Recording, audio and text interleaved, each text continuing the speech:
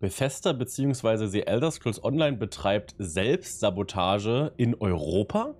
Aber es gibt auch positive News, denn das endlose Archiv ist eingeschlagen wie eine Bombe.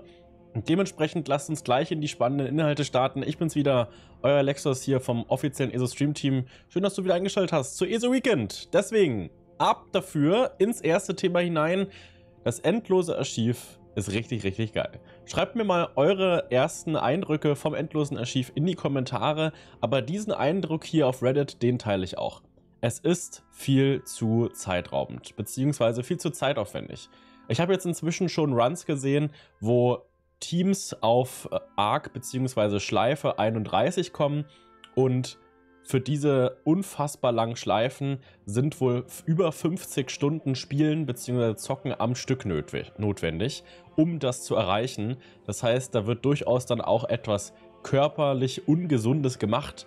Und ich finde, dass hier vielleicht in Zukunft mit dem nächsten großen Update nochmal Besserung kommen sollte. Es sollte Save Points geben oder irgendein ähnliches System. Schreibt mir mal eure Ideen, wie man das lösen könnte, in die Kommentare. Würde mich auf jeden Fall sehr interessieren. Also, eine Idee ist Save Points. Ja? Wenn man beispielsweise vier oder fünf Schleifen erreicht hat, dass man dann gleich direkt die laden kann. Ja? Und dann wieder bei 10, bei 15, bei 20 und so weiter und so fort. Sowas wäre ganz cool. Vielleicht so, dass das System mit berücksichtigt, wie viel Leben man zum Zeitpunkt des Rekords hatte. Also wenn man jetzt zum ersten Mal Schleife 5 erreicht und dann in Zukunft auch schon ab Schleife 5 starten kann, dass dann gespeichert wird, okay, Schleife 5 wurde erreicht und er hatte noch zwei Leben übrig. Und dann kann man jedes Mal von diesen Save starten und kann sagen, ich möchte ab Schleife 5 beginnen, statt mit den drei Leben von 0 mit den zwei Leben. Wenn man dann aber irgendwann wieder sagen wir mal, einen neuen, besseren Run hinlegt und Schleife 1 bis 5 ganz normal spielt, ohne zu skippen sozusagen, und dann drei Leben hat, dann wird das überschrieben, dann wird abgespeichert Schleife 5 mit drei Leben. Und dann kann man wieder von dort starten, von Schleife 5 mit drei Leben. Und so dann halt eben auch mit Schleife 10, Schleife 15 und so weiter und so fort. Das würde ich persönlich ein durchaus faires System finden. Und wie ich finde, könnte man mit diesem System durchaus auch in die Ranglisten reinkommen. Weil dieses System würde ja berücksichtigen, wie viel Leben der Spieler zum Zeitpunkt X hatte. Es sorgt einfach nur dafür, dass man seinen Run auch mal pausieren kann und dann an einem nächsten Tag weitermachen kann, in Anführungsstrichen. So sehe ich das zumindest. Das ist meine Idee. Wenn ihr andere Ideen habt, schreibt die auf jeden Fall in die Kommentare. Des Weiteren gibt es viele tolle positive Neuigkeiten zum endlosen Archiv. Da wurde nämlich richtig schnell Hand angelegt und zwar wurden bereits einige Sachen gefixt. Ähm, Im endlosen Archiv verwandelt man sich ja öfters mal in komische Gestalten, in einen Ziegenbock oder aber beispielsweise in einen Sucher.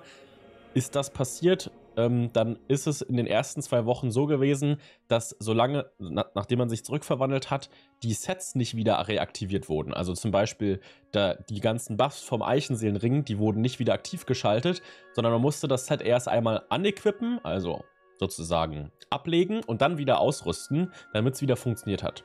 Dieser Bug wurde inzwischen bereits behoben. Des Weiteren funktionieren die Ranglisten jetzt auch ordentlich im endlosen Archiv. Das heißt also, wenn ihr auf Ranglistenplätze aus seid, es geht jetzt. Ich habe aktuell den Rekord von, ich glaube, 170.000 Punkten. Das müsste irgendwas in Schleife 5 gewesen sein oder sowas. Das ist mein persönlicher Rekord, aber mein Anspruch ist auch nicht auf Schleife 30 zu kommen. Schreibt mir gerne mal in die Kommentare, wie weit ihr schon gekommen seid, im Solo oder im Duo. Würde mich auf jeden Fall sehr interessieren. Bin gespannt, wie viel Spaß ihr schon am endlosen Archiv habt. Ja, jetzt kommen wir zum Hauptaufreißer des heutigen Videos und ähm, ich bin sehr ungehalten, was das angeht. Aber kommen wir erstmal zum Kontext, bevor wir dann zur ähm, subjektiven, subjektiven Wahrnehmung bzw. zur eigenen Meinung kommen. Im US-Store, im Bethesda Gear Store, nicht den Bethesda International Gear Store, sondern den Bethesda Gear Store, der US-amerikanische, ist ein neues Elder Scrolls Online Bundle veröffentlicht worden. Und zwar mit diesem unfassbar niedlichen Hermeus Mora Plüsch. Ja? Dieser unfassbar niedliche Hermeus Mora Plüsch, den wir, wo von euch wahrscheinlich Hunderte kaufen würden. Auch da Schreibt mir gerne mal in den nächsten paar Minuten, wenn ihr das ganze Bundle jetzt hier im, äh, im, im Video gesehen habt, in die Kommentare, Wärt ihr ein potenzieller Kunde, würdet ihr euch so ein Bundle kaufen für, sagen wir mal, 70 Euro? Oder vielleicht auch mit Steuern dann halt eben 80 Euro? Oder würdet ihr euch die Sachen einzeln kaufen, zum Beispiel dieses Plüschtier hier für 40 Euro? Denn es ist nicht nur ein Plüschtier, sondern auch eine riesige Kuscheldecke mit dabei, die, wie ich finde, wirklich, wirklich cool aussieht. Ähm, das hier ist die Vorderseite, das hier ist die Rückseite und das hier ist die Vorderseite. Ne? Hier sieht man nochmal die ganze Kuscheldecke. Also ich finde, die ist richtig, richtig sexy. Und es ist noch so ein Pin dabei, ne? so ein Anstecker hier halt, so ein typischer. Der ist auch noch mit dabei. Ja, ganz nett. Ich denke, das Highlight ist die Decke und das Highlight ist das Plüschtier. Jetzt kommen wir aber zum, äh, zum, zum springenden Punkt. Ähm, vielleicht habt ihr es vor einer Weile mitbekommen. Ich glaube, es war Anfang des Jahres oder Ende letzten Jahres. Da war der europäische Bethesda EU Store für mehrere Monate lang offline. Die Begründung war, dass der Lager-Shop-Anbieter, da bin ich nicht ganz im Bilde, deswegen bitte behandelt jetzt alle Informationen, die jetzt kommen, nicht als offiziell. Ach, ich kann mir mal noch ganz kurz den Discord auföffnen, dann haben wir noch ein paar offizielle Infos. Moment. Genau, also fangen wir nochmal, ich habe mir inzwischen mal hier noch was aufgemacht, damit ich euch gleich noch was zeigen kann an offiziellen Quellen. Ähm, also, ne? Der Store war für längere Zeit lang offline und der ging dann nach vielen Monaten wieder online, weil gesagt wurde, hey, wir sind jetzt nicht mehr der Bethesda EU Store, wir sind jetzt der Bethesda, Bethesda International Gear Store. Ja, das ist dann quasi die Variante, die nicht für die US-amerikanische Variante ist, sondern halt eben für alles andere. Und ähm, gesagt wurde von den Community Managern und so weiter und so fort, dass dieser Schritt gegangen wurde, weil man sich davon verspricht, dass man jetzt mehr Inhalte aus dem US-amerikanischen Store auch nach Europa bringen kann. Also dementsprechend ein zuverlässigeres, ähm, umfangreicheres System an Merch, was man dann in Europa anbieten kann. Denn die Angebote von ähm, dem Bethesda EU Store waren davor immer ziemlich mager. In der Regel ist nur eins von fünf Sachen aus dem US-Store rübergekommen in den alten ursprünglichen Bethesda EU Store. Mit dem International Gear Store, mit dem Bethesda International Gear Store hat man sich da Besserung versprochen. Und was haben wir bekommen? Genau das ist eben nicht eingetreten. Denn es gibt richtig, richtig viele coole Sachen, die wir persönlich hier in Europa erstmal nicht erhalten haben. Es gibt hier zum Beispiel diese neuen Kochtücher. Die kommen jetzt vielleicht nach Europa. Diese Münze ist schon lange, schon lange, lange im Shop drin im Bethesda US Store. Die kommen vielleicht noch nach Europa. Die Tasse kommt wahrscheinlich nicht nach Europa. Zumindest gibt es da aktuell keine Sachen, die dafür sprechen. Das Bierglas, obwohl wir Deutschland sind, ist jetzt nach Ewigkeiten mal in den EU-Store reingekommen, ist dementsprechend bei uns relativ neu im EU-Store und auch nicht reduziert, wie es hier beispielsweise der Fall ist. Ja, hier diese geilen Altmeri, also die geilen Allianz-Banner, wovon sicherlich viele von euch bei 15 oder 20 Euro zuschlagen würden. Alle nicht im EU-Store. Das heißt also, es ist eben keine Besserung eingetreten. Das, was man sich versprochen hat, ist nicht aufgegangen. Und so nun auch wieder hier es wurde hier sehr kurzsichtig gearbeitet, meines Erachtens. So, und jetzt äh, mein Appell an euch an der Stelle hier.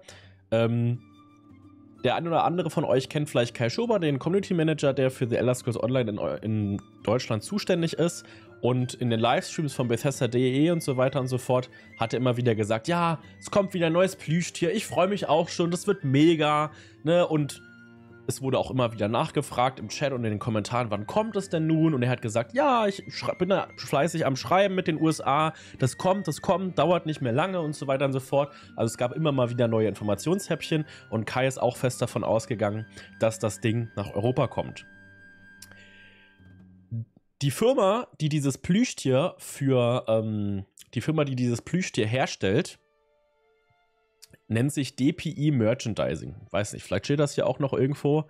Also, DPI Merchandising ist die Firma, die dieses Plüschtier herstellt. Und jetzt kommt's, jetzt kommt's. Das ist eine deutsche Firma. Beziehungsweise die Tochterfirma von der deutschen Firma. Und diese deutsche Firma hat jetzt also die Entscheidung getroffen, in der Zusammenarbeit mit dem US-amerikanischen äh, Gearstore bzw. Sales Team, dass man bei der Produktion nicht darauf achtet, dass die EU-Richtlinien eingehalten werden. Also bei diesem Plüschtier, dieses Plüschtier gilt als Kinderspielzeug oder kann als Kinderspielzeug angesehen werden. Auch wenn wir jetzt als Zielgruppe sagen, naja, wer spielt denn Elder Scrolls Online? Sicherlich nicht Zwölfjährige. Ähm, das, das wissen wir, aber das weiß ja nicht der Zoll und so weiter und so fort. Das weiß ja nicht Europa. Dementsprechend ähm, können in diesen Plüschtier-Geschichten krebserregende Stoffe drin sein. Wir kennen das, das kann aber überall drin sein. Ja? Chemische Stoffe sind an vielen Stellen drin. Letztens wurden die ganzen Tattoo-Farmen verboten in Europa und so weiter und so fort. Und es ist ja auch wichtig und richtig, dass Europa uns da beschützt. Aber in diesem Falle ist es halt nur deswegen so, dass es nicht nach Europa kommt, weil das Ding wird eventuell als Kinderspielzeug eingestuft und kann unter Umständen Krebs- und erregende Stoffe enthalten. Und dementsprechend können sie das Bundle, das Plüschtier, nicht nach Europa bringen. Also, nochmal objektive Informationen zusammengefasst. Der Bethesda EU Store war Ewigkeiten offline, um dann online zu gehen und, zu sa und sagen zu können, es kommen jetzt wieder mehr Inhalte aus dem US-Store in den EU-Store. Ziel nicht erreicht.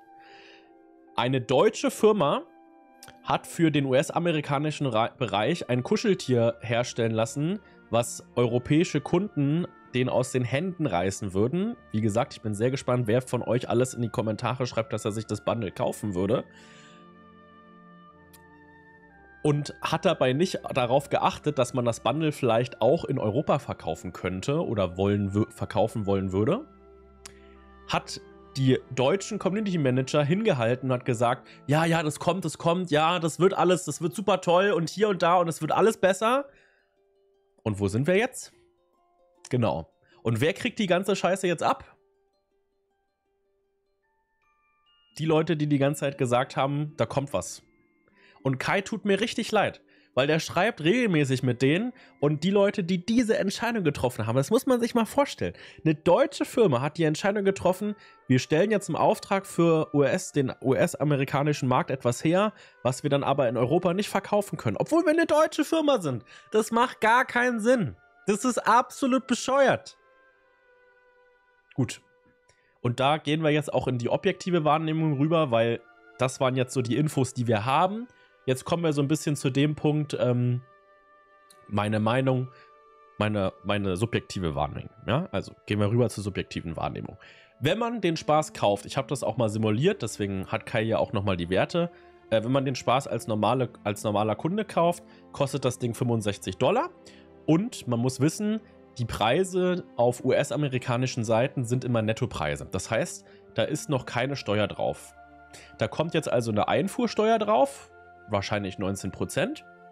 Und dann kommt nochmal Zoll obendrauf, weil der Zoll schon in Amerika abgearbeitet wird. Deswegen ist es auch sehr wahrscheinlich, wenn ihr den importieren lasst, dass das Ding nicht vom Zoll beschlagnahmt wird, weil das Ding wird sehr wahrscheinlich dann halt eben, weil es in Europa ja nicht verkauft werden darf, etc., bestimmte Regularien haben, bla bla bla, keine Ahnung, kenne ich mich nicht mit aus. Falls jemand von euch beim Zoll arbeitet, schreibt es mal in die Kommentare. Auf jeden Fall Zoll wird schon in den USA abgegolten, deswegen kommt der Preis obendrauf und Einfuhrsteuer bzw. Umsatz- oder Mehrwertsteuer wird auch nochmal obendrauf geschlagen. Wir sind dann bei einem Preis von, ich glaube, da kommen ungefähr 20 Dollar obendrauf für Steuern und Zoll und dann kommen 40 Euro Versandkosten obendrauf. Man ist also am Ende bei ungefähr Pi mal Daumen 125 Euro, die man bezahlt, um sich ein so ein Bundle nach Deutschland einfliegen zu lassen. Mit der geringen Chance, dass es dann auch noch vom Zoll beschlagnahmt wird. Eventuell. Eventuell. Das ist echt traurig. Wer diese Entscheidung in den USA getroffen hat, das ist Selbstsabotage. Deswegen auch der Titel. Bethesda sabotiert hier sich selbst zum, oder zumindest die Reputation von Bethesda im europäischen Markt. Und ich finde das super schade. Und jetzt wird der ein oder andere sagen, oh, das ist doch voll übertrieben, es geht doch nur um Plüschtier, dies, das. Ja, aber wisst ihr, wie viel Geld man mit der Scheiße einnehmen kann? Bethesda! Warum?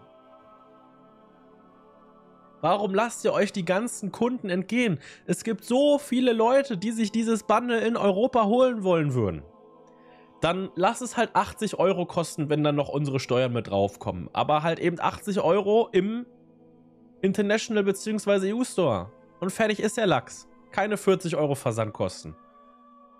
Oh, ihr seht schon, ich könnte mich da sehr drüber aufregen. Naja, nichtsdestotrotz, meine Bitte jetzt an euch, auch weiterhin Teil subjektiver äh, Werte jetzt hier. Belästigt nicht Kai mit dem Thema. Kai hat sich Mühe für euch gegeben. Er kann nichts dafür, dass das, in, äh, dass das nicht geklappt hat. Und ist selber sehr enttäuscht. Also interne Kommunikation werde ich jetzt nicht mit euch teilen. Das hier könnt ihr öffentlich im Bethesda ähm, Discord nachlesen. Ich kann nur so viel sagen, Kai ist sehr bestürzt über die Situation. Wenn ihr wollt, dass sich da was ändert, dass die Leute da mal aufwachen, ich weiß nicht, ob wir Vielleicht müssen wir eine Petition starten, um den Leuten mal, um den Leuten, die in den US ähm, diese Entscheidung getroffen haben, mal bewusst zu machen, wie viele Kunden ihnen da verloren geht. Aber ich denke, das erste, was wir jetzt erstmal im ersten Schritt machen können, ist unser Feedback geben. Ich glaube nicht großartig, dass es was bringt, das im äh, Elder Scrolls Online Forum zu tun, sondern ihr könnt beispielsweise auf X bzw. Twitter gehen. Hier ist auch nochmal der Link und schreibt einfach, äh, ich, ich habe hier auch meinen, meinen Dampf abgelassen. Ich denke, es bringt nichts, wenn ihr meinen Kommentar liked. Ich denke, am meisten bringt es, wenn jeder seinen Twitter- oder X-Account nutzt und hier mal unter den Official Bethesda Gearstalk Post schreibt, hey, das Ding in Europa wäre mal was gewesen, schade. Ja? Oder ihr lasst eure Kunden in Europa sitzen, schreibt irgendwie sowas. Also ich habe mir auf jeden Fall die Mühe gemacht, hier unter die Posts von Gina und unter, die, unter dem Post vom Gear Store das zu schreiben. Und es gibt auch noch einige andere, die das hier geschrieben haben. Deswegen schreibt gerne mal da eure Meinung, lasst euch da aus, aber wie gesagt, lasst euch nicht gegenüber Kai aus oder so, weil der hat alles in seiner Macht Stehende getan und ist fest davon überzeugt gewesen, dass das Ding auch nach Europa kommt. So, nächstes Thema. Es gibt auch gute Sachen im Sale und zwar aktuell nur 13 Euro für die neue Erweiterung, falls ihr sie noch nicht habt. Da ist auch der Arkanist mit drin. Denkt dran, wenn der Arkanist ein Jahr alt wird, wird diese Klasse sehr wahrscheinlich nicht Teil von ESO Plus werden, sondern, so wie die anderen Klassen, wird er dann separat im Store angeboten für 1500 Kronen. Jetzt können wir nochmal kurz nachgucken, was sind äh, 1500 Kronen wert ohne Sale? 13 Euro. Was bezahlt ihr? jetzt aktuell, damit ihr den Arkanist permanent freigeschaltet habt und das Kapitel permanent freigeschaltet habt, 20 Cent mehr. Also ich würde sagen, wenn ihr den Arkanisten noch haben wollt, kauft ihn euch nicht in einem Jahr über Kronen, kauft euch jetzt Necrom. Und ich habe keinen Link und ich kriege auch kein Geld dafür, dass ich das sage. Einfach nur für euch jetzt hier eine Info. Falls ihr den Arkanisten noch spielen wollt, euch als eine neue Klasse erstellen wollt, das würde sich preislich in meinen Augen aktuell mehr lohnen. Ja, kommen wir noch zu einem weiteren Thema und zwar würde mich mal interessieren, ob es von euch einige gibt, die beim Questen und so weiter und so fort in der Ego-Perspektive spielen. Gibt es da einige von euch, die in der First Person spielen, in der Ego-Perspektive? Würde mich mal interessieren, weil ich habe, ich bemerke immer wieder, in, beim Questen ist das durchaus ganz cool, aber selbst beim Questen mache ich es noch zu selten. Na, also selbst beim Questen mache ich dann doch eher dritte Person, Vogelperspektive ähm, schreibt mir mal in die Kommentare, wie ihr das macht. Würde mich auf jeden Fall interessieren. Und was euch interessieren könnte, sind die ganzen geilen Posts, die ich veröffentlicht habe auf Patreon. Und zwar habe ich jede Menge Fleiß hier reingesteckt. Es gab Einnahmen. Ihr könnt meine YouTube-Einnahmen sehen zu vergangenen Videos. Der neue Podcast ist übrigens erschienen. Link dazu findet ihr, wenn ihr auf meine Kanalseite geht und dann auf Podcast. Da gibt es einen extra Tab. In der Videobeschreibung findet ihr dann den, ähm, den Podcast mit drin oder bei Videos findet ihr den Podcast ebenfalls. Und zwar haben wir Skoma Klatsch nach drei Jahren Pause wiederbelebt. Wir wollen das jetzt wieder monatlich machen, Ben und ich. Ähm, wir haben es auf Spotify, iTunes und dieser veröffentlicht. Das sind für uns kostenpflichtige Plattformen. Also Dementsprechend schaut vielleicht auf Patreon vorbei, lasst ein bisschen Liebe da, damit ich das auf diese jeweiligen Plattformen hochladen kann, falls ihr es auf den genannten Plattformen euch anhören wollt. Die einzige Plattform, die für Ben und mich kostenlos ist, ist YouTube Music, denn das synchronisiert sich mit YouTube. Dementsprechend auf YouTube Music findet ihr den Podcast auch. Ihr müsst einfach nur nach Skummerklatsch suchen. Wenn ihr nichts der genannten Dienste habt, kein Deezer, kein Spotify, kein iTunes, kein YouTube Music bzw. YouTube Premium, dann gibt es für meine Patreons den sogenannten RSS-Feed. Das heißt also, es ist ein Link, den könnt ihr in eine Podcast-App eurer Wahl einspeichern und da bekommt ihr dann ohne Werbung, ohne irgendwelche Unterbrechungen, ohne zusätzliches Abonnement permanent den Podcast freigeschaltet. Das heißt also, Schaut da mal vorbei, wenn ihr diesen RSS-Feed-Link haben wollt. Der ist jetzt für alle Patrons veröffentlicht. Ja? Oder zum Beispiel DPS-Tests äh, zu meinem Frosthüterbild könnten den einen oder anderen interessieren. Ich arbeite aktuell akribisch an dem neuen Video zum endlosen Archiv. Das Ding wird aber eine richtige Bombe, weil ich würde gerne eins, alle einzelnen Bosse erklären. Ich gehe davon aus, dass ich noch ein paar Wochen für das Video brauche. Äh, dementsprechend, ich habe aber schon ein Video produziert, was eigentlich danach erst erscheinen soll, zu den Klassensets. Wer möchte, den Vorabzugang gibt es jetzt schon für alle Patrons, erscheint dann aber später auch kostenlos für alle anderen. Schaut da auf jeden Fall gerne mal vorbei, insofern euch das interessiert. So, und jetzt wechseln wir ins Spiel und ich sehe schon, das Spiel hat sich schon ausgelockt, deswegen bis gleich. Ja, und dickes, dickes Dankeschön auf jeden Fall auch nochmal an all meine Patreons, ne? Vielen, vielen Dank vor allem an Anri, God of War, Seppal jetzt neu mit dabei, freue ich mich sehr drüber. Dankeschön, Seppal, für die Unterstützung. Saitev, Kebi und Nesui, dickes, dickes Dankeschön natürlich auch an alle anderen hier genannten. Es sind einige mehr geworden, das weiß ich sehr zu schätzen. Es freut mich, dass es so gut bei euch ankommt, dass ich jetzt auch richtigen ESO-Content auf meinem Patreon mache. Bisher war das ja hauptsächlich Hintergrundinformationen und jetzt ist da auch mehr ESO mit dabei. Dementsprechend schön, dass das so gut bei euch ankommt. Und jetzt gehen wir rüber ins Spiel und gucken uns einmal an, was es hier so gibt. Ich wurde beim letzten Mal gefragt, wo denn dieser endlose Archivhändler zu finden ist. Der ist ein bisschen versteckt und zwar ist der hier hinten am Orsch der Welt. Man sieht ihn immerhin auf der Karte. Hier ist der normale Händler, den eigentlich alle kennen sollten. Und hier ist der Händler, der sich wöchentlich ändert. Wenn ihr spawnt, seid ihr ja hier bei der Sanduhr vorm Eingang vom endlosen Archiv. Ihr müsst dann einfach zwischen, zwischen dem täglichen Quest-Typi und dem Eingang dran vorbeilaufen. Und dann kommt ihr hier hinten zu dem Händler, der wöchentlich andere Inhalte anbietet. Ah, ein Stern. Und da gibt es diesmal durchaus interessante Sachen. Ich denke, am interessantesten sind die beiden Spuren. Einmal äh, Dolmenlehm und einmal berüttete und, Ständ und Ständer aus Malachit. Ne? Gucken wir uns einmal, da habe ich mir extra einmal rausgesucht, was das eigentlich ist, weil am Anfang ähm, wusste ich es ehrlich gesagt nicht, was das ist oder was das sein soll. Deswegen, also, ähm, dieses berüttete, dieser berüttete Ständer aus Malachit ist ein Teil von dem richtig geilen Telvanni-Alchemietisch. Und zwar dieses riesige Teil hier. Ja, es ist ein optisch sehr hübscher Alchemietisch, für den man hier verschiedene Fragmente sammeln muss. Das ist einer der Fragmente davon. Findet man eigentlich, äh, also das Fragment dafür findet man eigentlich ziemlich einfach. Man muss es nämlich einfach nur aufheben. Ja? Ähm, dementsprechend würde ich sagen, kauft euch das bitte nicht. Ja? Meine Empfehlung wäre, kauft euch diese Spur bitte nicht, weil offensichtlich kann man das Ding einfach in der Open World looten. Dementsprechend ähm, lohnt es sich in meinen Augen nicht dafür, 5000, ähm, 5000 von der Währung aus dem endlosen Archiv auszugeben. Das zweite Ding ist Dolmenlehm.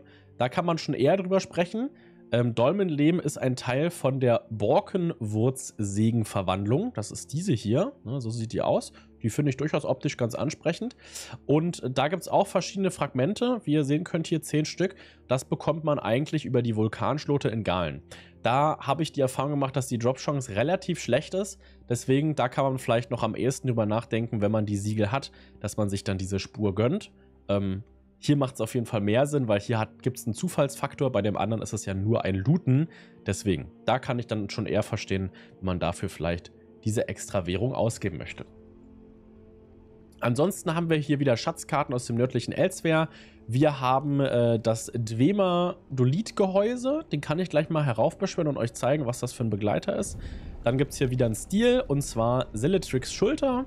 Ähm, es gibt hier wieder verschiedene Bücher, die man in sein Haus stellen kann. Als Gefährtenausrüstung gibt es diesmal Waffen. Es gibt auch wieder ähm, Fragmente für eure, für eure, für eure Ruhmesgeschichten. Ne? Maligraphie-Eiter gibt es auch. Da spiele ich noch am ehesten mit dem Gedanken, für das Reittier und den Begleiter mir den zu holen. Und noch ein weiteres Buch, ja, was es hier so gibt.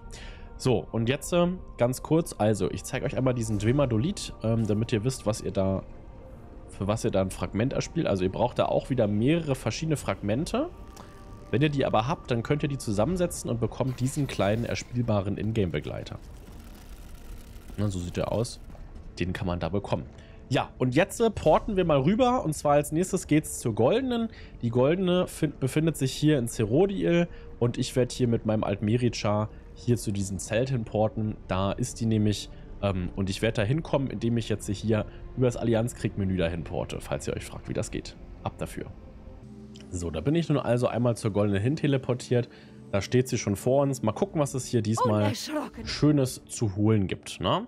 Gucken wir einmal rein in die ganzen tollen Sachen. Also, als Monster-Sets gibt es diesmal ähm, Krax aus Pilzgrotte 1, lohnt sich eigentlich immer. Der Schaden von Krax ist auch ganz okay. Kann man durchaus spielen erstmal, wenn man an ein einfach zu erhaltenes Monster-Set rankommen möchte. Man muss allerdings auch sagen, Pilzgrotte 1 auf Veteran ist wirklich ziemlich einfach. Ähm, selbst wenn man da als Anfänger mit vier Spielern reingeht, dann ist das definitiv schaffbar. Und man bekommt den Helm halt garantiert nur in unterschiedlichen Rüstungsvarianten, äh, mit leicht, mittel oder schwer. Da muss man dann gucken, ob das Richtige droppt. Aber da kommt man sehr leicht ran, möchte ich damit sagen. Ich würde nicht sagen, dass es sich dafür lohnt, 100.000 auszugeben. Nichtsdestotrotz ist Krax auch im Endgame sehr interessant, denn häufig ist im Endgame immer ein Slot-Item frei. Man spielt nämlich häufig auch Mythic-Items mal. Keine ganzen Monster-Sets, auch wenn das auch ab und zu vorkommt. Und da ist halt der Einer-Bonus von Krax sehr, sehr mächtig. Ja? Also die zusätzliche Durchdringung ist definitiv sehr gut, vor allem wenn man an dieses Set halt eben besonders einfach rankommt. Dann, aus Eldengrund 1 gibt es hier Würgedorn. Ich habe mir mal sagen lassen, das kann man im PvP ganz gut spielen. Ist wohl in Duellen ganz okay. Ähm, und kann man auch so im Solo-Gameplay wohl ganz gut spielen. Darüber hinaus habe ich jetzt aber keine großartigen Erfahrungen mit Würgedorn. Deswegen, ich glaube, unfassbar interessant ist es aktuell nicht. Äh, Donnerkäfer, meine ich, hat man mal eine ganz kurze Zeit lang auf dem Heal oder Off-Heal gespielt um Gegner ähm, aus dem Gleichgewicht zu bringen mit den Schockscharen. Die Zeit ist aber, glaube ich, schon lange her. Ich glaube, aktuell spielt man es nicht mehr. Falls ihr Heiler sein solltet, schreibt es mir mal in die Kommentare. Ich glaube, man hat's. Wir hatten es damals im Anstalt Sanctorum eine Zeit lang gespielt, bei dem Heiler, der sich hinterm Tank befindet. Ähm, aber ich kann mich auch irren, also dementsprechend, ich glaube, aktuell ist es relativ uninteressant. Dann gibt es Schatzjäger. Jetzt muss ich mal kurz gucken. Schatzjäger müsste aus äh, Wohlenfell sein. Ähm, beim Schatzjäger ist es ein bisschen irreführend. Viele Leute denken, dass Schatzjäger ein gutes Set ist. Schatzjäger ist auch erstmal kein schlechtes Set, denn wir kriegen hier zweimal Crit, wir kriegen Magie und Waffenkraft und wir kriegen sogar noch einen zweiten Fünfer-Effekt. Ne? Also das ist immerhin schon mal ganz nett. Und es liest sich halt sehr stark, weil wir hier wir kriegen ja 2629 kritische Wahrscheinlichkeit. Jetzt können wir mal ausrechnen, was das in Prozent bedeutet. Ja, in Prozent bedeutet das 2600, was war es? 2600 äh, 29. So, 219 ist 1%. Ja, also, wir kriegen hier 12% kritische Wahrscheinlichkeit, also wirklich ziemlich, ziemlich viel. Ähm, jetzt kommt aber das Ding. Das Set hat keinen einzigartigen Effekt, sondern es ist ein Buff mit einem Namen, nämlich größere Prophetie und größere Wildheit. Deswegen wird dieses Set nicht gespielt und deswegen ist es eventuell erst etwas irreführend, weil man das erstmal wissen muss. Wenn man diesen Buff bereits aus anderen Quellen bekommt, ne, also zum Beispiel gibt es verschiedene Quellen, die Magie- und Waffenkrafttränke, die geben eine größere Wildheit. Die, der Magiekrafttrank gibt eine größere Prophetie. Das gleiche gilt auch für die Allianz-Kampftränke. Äh, ja? Oder Allianz-Magietränke. Also ist ebenfalls das gleiche. Dann gibt es Skills, die einen diesen Effekt geben. Zum Beispiel, was viele Leute spielen. Getarnter Jäger gibt einen den Spaß passiv, ohne dass man dafür irgendwas großartig machen muss. Ne? Muss man auch bedenken. Und es gibt auch viele, viele Fertigkeiten, ähm, die einen das geben. Ne? Zum Beispiel hier Flut des Vampirs. Oder es gibt auch noch andere Klassenfertigkeiten. Ich meine zum Beispiel Lotusblüte vom, vom Hüter macht das beispielsweise ebenfalls. Und es gibt noch andere. Müsst ihr euch mal eure Skills ein bisschen durchlesen. Das heißt also, größere Prophetie bzw. größere Wildheit bekommen wir schon aus so vielen sicheren Quellen, dass ich dafür niemals ein Fünfer-Set opfern würde. Ne? Also hier müsst ihr ja nur einen Skill ausrüsten, um das nutzen zu können. Ne? Seid ihr nun vielleicht kein Templer, dann ist es halt bei euch vielleicht eher der getarnte Jäger oder so. Oder ihr nutzt halt eure Tränke, ne, was auch eine sehr kostengünstige Variante ist. Und so kommt, habt ihr halt einen kompletten Fünferplatz verschwendet, den ihr für viel mächtigere Sets einsetzen könntet. Deswegen würde ich euch auf jeden Fall nicht Schatzjäger empfehlen. Ne? Schatzjäger ist immer sehr irreführend. Viele Spieler, die ins Spiel kommen und sich ein bisschen mit den Werten auseinandersetzen, denken dann so, oh geil, klingt ziemlich mächtig. Aber wie gesagt, ist es nicht. Dann haben wir hier Wand, äh, Wanderritter Wanderritter ist aus, äh, aus dem Schwarzherz. Aus dem Schwarzherz-Unterschlupf? Genau. Aus dem Schwarzherz-Unterschlupf. Was haben wir hier Schönes? Erhält eure Magie in Waffenkraft äh, mit Einhand- und Schildfertigkeiten um 450. Setzt eure solche Fertigkeit. Da setzt ihr eine solche Fertigkeit ein, werdet ihr um 2000 Leben geheilt. Uninteressant. Dann haben wir hier Baras Fluch. Das ist, glaube ich, Heves Fluch, ein Open-World-Set. Wenn ihr Schaden verursacht, erhaltet ihr mit einer Chance von 25% 5 Sekunden lang geschändeter Boden, der das Lauftempo von Feinden innerhalb von 3,5 Metern um 60% verringert. In jede Sekunde 6028 Magieschaden zufügt und euch in Höhe von 100% des verursachten Schadens heilt. Klingt erstmal nicht absolut schlecht, aber ich glaube, ähm, heißt das Set auslaugende Rüstung? Auslaugende Rüstung, kann das sein? Äh, genau. Aus, also wenn man so ein Set spielen möchte, was einen für Schaden, den es macht, heilt, zum Beispiel im endlosen Archiv kann das durchaus ziemlich mächtig sein, na, auf dem Tank oder sowas, im endlosen Archiv sehr, sehr stark, dann würde ich lieber auslaugende Rüstung spielen. Und nicht Bahamahas Fluch oder wie auch immer das Set heißt. Ne, das würde ich dann, das würde ich eher bevorzugen, wobei das natürlich ein Set aus einem Dungeon ist. Wobei, dieser Dungeon ist kostenlos, ne? also dementsprechend ähm, für die Diebesgilde braucht ihr ja einen DLC und für diesen Dungeon hier braucht ihr die Kaiserstadt und die kann man sich kostenlos freischalten. Jederzeit. Ist auch kein Sonderangebot, sondern man muss einfach in den Shop gehen und kann sich das Ding aktivieren. Na, also dementsprechend würde ich vielleicht eher das bevorzugen. So, und jetzt geht's noch zum Luxusausstatter. Der Luxusausstatter fürs Housing, der befindet sich in Kalthafen oder wir waren beim letzten Mal in Kalthafen. Heute zeige ich euch mal, dass der auch in Karkstein steht. Da wurde der nämlich ähm, mit dem ähm, Event Zenitas Eifer oder so ähnlich, wurde der nämlich dazu gepatcht. Da porten wir jetzt mal hin. Wir müssen einmal nach hier oben laufen und dann werdet ihr den da gleich schon sehen. Dementsprechend auf nach Belkart. So, ich bin jetzt also hier am Teleportschrein von Belkart, ne? Und ähm, wir müssen jetzt einfach vom Teleportschrein aus einmal hier rüber reiten. Dann reiten wir hier gleich an der Eigensteinhändlerin vorbei. Das ist hier ein weiterer Standort für die Eigensteinhändlerin. Und auf der linken Seite wollen wir mal ein bisschen gucken hier. Der linken Seite steht ja irgendwo hier. Der wurde hier irgendwann dazu gepatcht und steht jetzt nicht nur in Kalthafen, sondern auch hier. Es gibt diese Drachengarden-Feuerschale ohne Feuer. Oh, eine Luke, eine Falltür. Die ist geil. Die, und die sieht auch edel aus. Das ist natürlich ziemlich, ziemlich nice. Alter, als man kann das Ding ja auch perfekt als Fenstertür benutzen. Einfach aufrecht. Und es klappt sich sogar wie eine Fenstertür auf. Ne, einfach als Fenstertür. Mega. Geiles Item. Ja, große Ste Ich glaube, das ist mit einer der größten Steine im Spiel, falls man jemand von euch Höhlen bauen möchte oder sowas. Dann gibt es hier dieses Fenster, was sogar Licht wirft. Auch sehr edel, wie ich finde. Auch für einen angenehmen Preis. Sowas wird also ich denke, die Falltür und das Fenster hier, die werden auf jeden Fall auch für gut Gold weggehen. Also wenn ihr die... Gut, da reden wir gleich nochmal drüber. Für einen Dschungel oder sowas ganz nett, hat aber ansonsten keine Leuchteffekte, ist einfach nur bunt, aber sieht cool aus. Die Dinger sind natürlich sehr sexy. Ne? Damit irgendwie was Geiles bauen, stelle ich mir schon ziemlich cool vor. Ich glaube, damit kann man schon was Gutes machen, ja. Davon richtig viele, boah, kann man, da kann man bestimmt eine Menge draus machen. Also ich denke, dieses Item, dieses Item, das Fenster so mittelmäßig, weil nicht jeder auf diesen Look steht, aber ich denke durchaus auch. Ähm, und die Falltür, die werden auf jeden Fall, wenn man die erstmal ein halbes Jahr lang im Inventar gelagert hat, eine große Wertsteigerung beim Gildenhändler hinlegen. Also ich gehe mal davon aus, 20 bis 30 Prozent kann man da auf jeden Fall rausholen. Beim Fenster vielleicht nur so 10 Prozent. Aber wenn ihr das eine Weile in eurem Inventar behaltet und dann irgendwann in den Gildenladen reinstellt, dann werden euch die Leute das auf jeden Fall abkaufen. Ja, also die Steine eher nicht so, weil die sind sehr günstig. Die kaufen bestimmt einige auf Masse. Ähm, hier bin ich mir auch unsicher, aber ich denke, Diesmal sind wirklich viele Sachen drin, die eine gute Wertsteigerung hinlegen könnten und man kann auch coole Sachen damit bauen. Allein dieses, dass man das als Fensterladen drin ist, das ist eine gute Idee. Ich sollte mal äh, mich wieder mit dem Thema Housing auseinandersetzen.